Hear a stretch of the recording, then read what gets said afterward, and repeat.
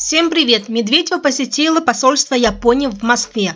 Российский артист балета Артем Овчаренко сообщил, что вместе с двукратной чемпионкой мира по фигурному катанию Евгенией Медведевой побывал на приеме в посольстве Японии в Москве.